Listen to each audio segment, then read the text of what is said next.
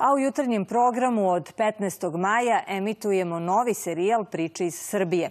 I danas vam predstavljamo neke rezultate zajedničkog rada Evropske unije i Srbije na unapređenju standarda i kvaliteta života. Ovoga jutra idemo u Čačak i govorimo o izradi nameštaja. Ja sam Majan Vujlić. Moje ime je Danijela Ilivović. Dobar dan, ja sam Suzana Ja Pavlović. sam Miladin Kovačević. Vladimir Crnović. Ja se zovem Danilo Jovanović. EU za tebe predstavlja Priče iz Srbije.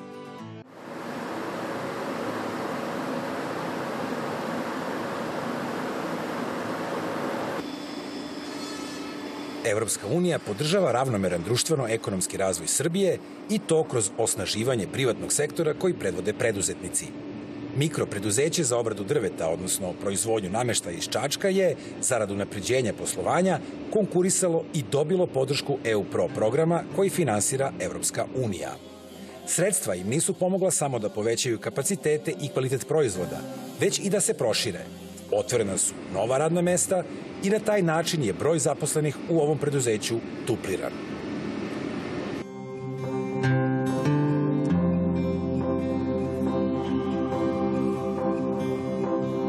Ja sam Dejan Bogdanović, direktor u firmi ID Wood Company. Osnovana 2014. godine, bavi se isključivo izradom nameštaja po poručbi.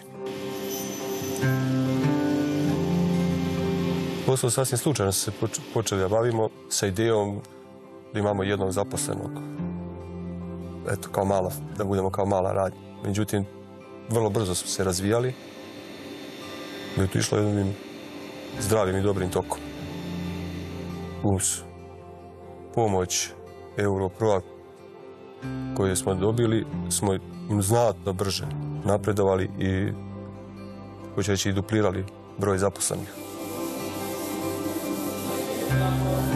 Veći dio njihovih sredstava je uložen u komoru za farbanje i ovu mašinu fre- e, frezer. E, Kad sam konkurisao za sredstva, prvenstveno je bila ideja za komoru za farbanje ili je to najsrce praktično proizvodnje.